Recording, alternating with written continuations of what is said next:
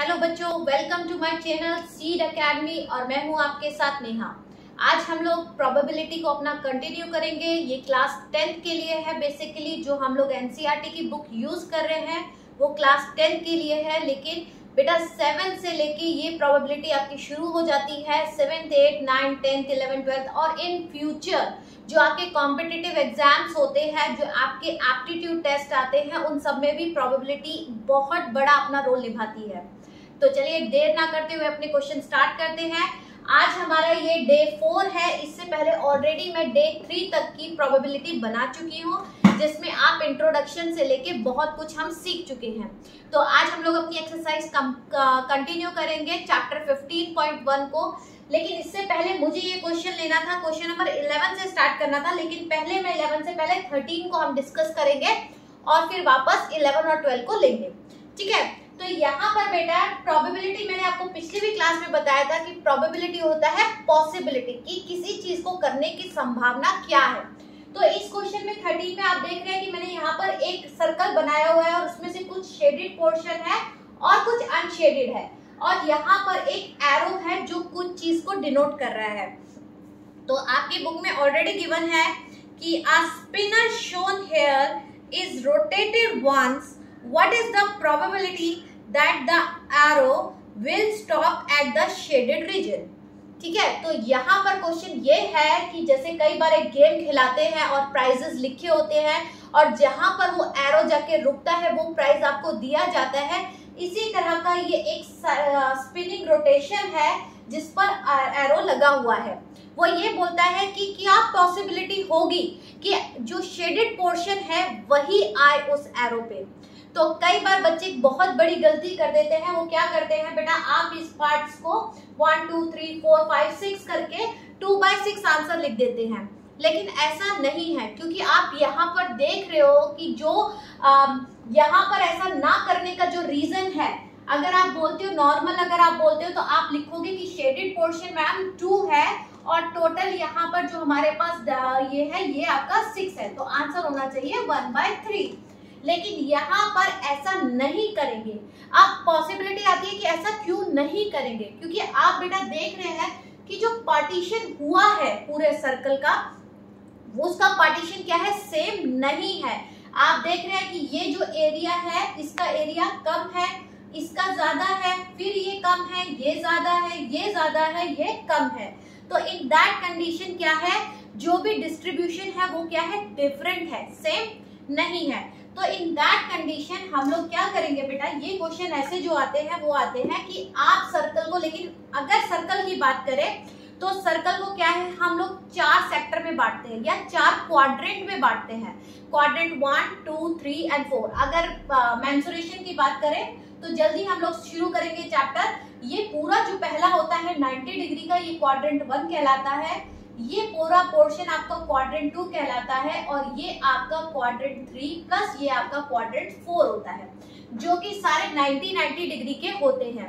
और जब आप 90 डिग्री 90 इंटू फोर करते हैं तो उसका टोटल आपका हो जाता है 360 okay come to we will come back to our question तो यहाँ पर क्या होता है बेटा कि जो शेडेड पोर्शन है, अगर आप ध्यान से देखें कि कुछ शेडेड पोर्शन क्या है, आपका क्वाड्रेंट वन में आया हुआ है और कुछ शेडेड पोर्शन आपका क्वाड्रेंट थ्री में भी आया हुआ है।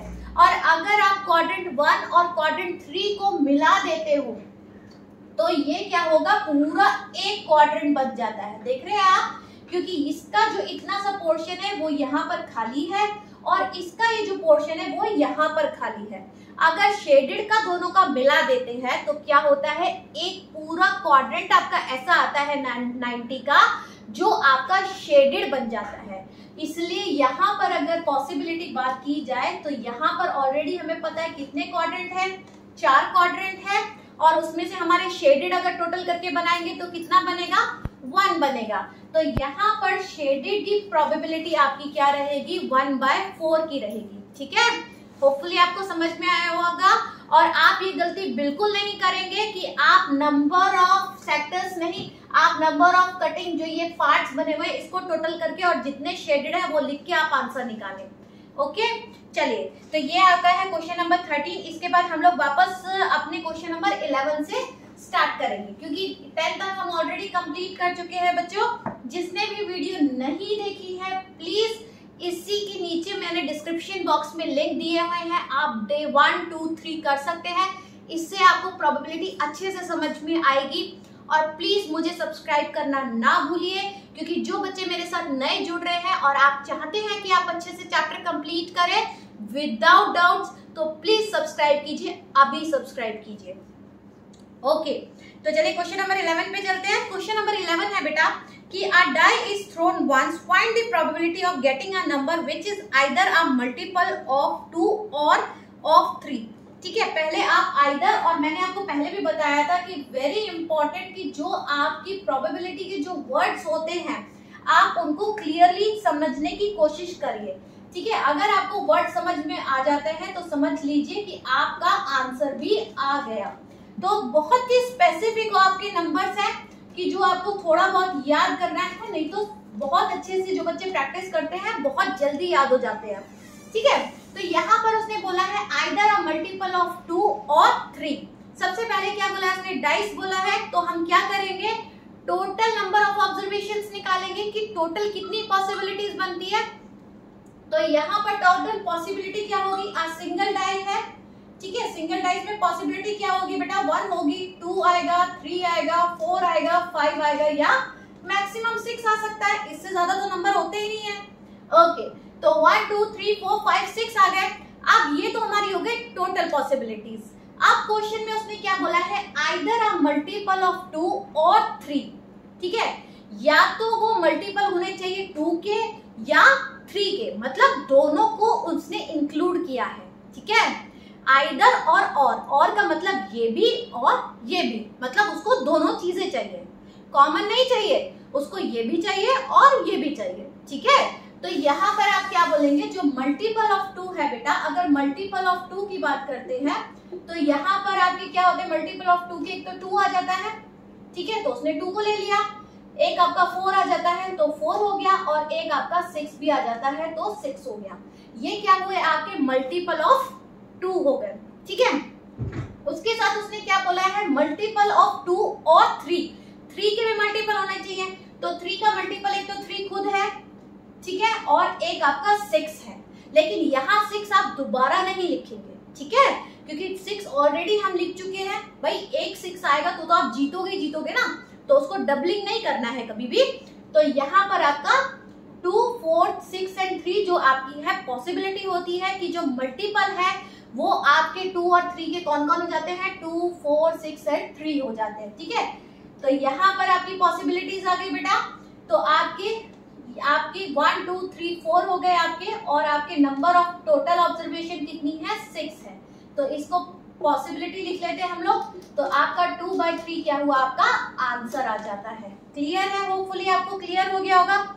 बहुत इजी क्वेश्चन है कि क्या है? सिर्फ़ याद रखना है कि आइदर और और की बात की जाती है तो दोनों को लेना है। कॉमन नहीं लेना है, दोनों को लेना है। दोनों को बुलाया जा रहा है। ठीक है? ओके इसके बाद हम लोग चलते हैं अपने क्वेश्चन नंबर ट्वेल्व पे। A die is thrown once. Find the probability of getting a number which is not a factor of 36. ठीक है? तो आपको बोलना है कि आ, ऐसा नंबर बताना है जो 36 का फैक्टर नहीं होगा। ठीक है? क्या नहीं होगा? आ, ओके ये मिटा देते हैं। डाई की बात ही कर रहे हैं। तो डाइस के लिए हम लोग लिख सकते हैं वापस अपनी नंबर ऑफ़ ऑब्जर्वेशन जो हम लोग हर बार लिखते हैं कि टोटल आपके ऑब्जर्वेशन जो है आउटकम्स क्या है? वन है टू है three four and five and six है। ठीक है? यहाँ पर बेटा जो क्वेश्चन पूछा गया है, वो पूछा जाता है कि जो आपको डाई फेंकनी है, उसका which is not a factor of thirty six उसका फैक्टर थर्टी सिक्स नहीं होना चाहिए। ठीक है? यहाँ पर not a factor of thirty okay? तो 36 फैक्टर का मतलब होता है बेटा फैक्टर और मल्टीपल फैक्टर का मतलब होता है ऐसा नंबर जिसमें 36 आता है, जिसके टेबल में 36 आता है. या 36 किसका मल्टीपल है बोल सकते हैं आप? या 36 का फैक्टर क्या है? मतलब ऐसे कौन से नंबर है जो 36 को कंप्लीटली डिवाइड कर देते हैं? ठीक है? तो वो सारे उसके फैक्टर्स कहलाते हैं. यहाँ पर अगर बात की जाए तो वन तो सभी का फैक्टर होता है। आपको पता है वन की टेबल लेते हो तो आपके हर नंबर वन का फैक्टर होता है। तो ये तो हम यूज़ नहीं कर सकते, क्योंकि हमें कौन से चाहिए? जो 36 का फैक्टर नहीं हो। यहाँ पर आप टू देखते हैं बेटा तो टू भी आपका नहीं होगा, क्योंकि 36 क्या है? आपका एक इवन नंबर है।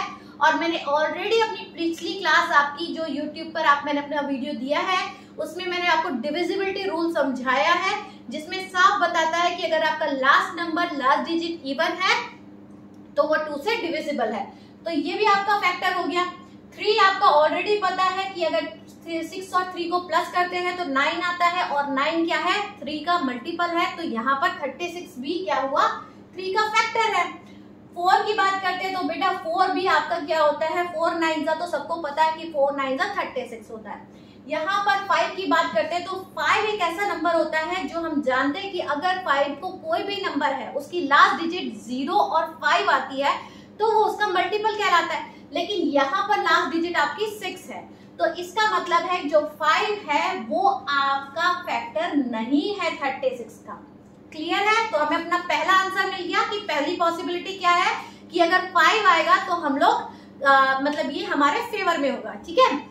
एज पर द क्वेश्चन और अगर सिक्स की बात करते हैं तो आपको ऑलरेडी पता है सिक्स सिक्स थर्टी सिक्स होता है तो ये भी क्या है? पॉसिबिलिटी आपकी आ, नहीं होती है आपके फेवर में क्योंकि ये फैक्टर है।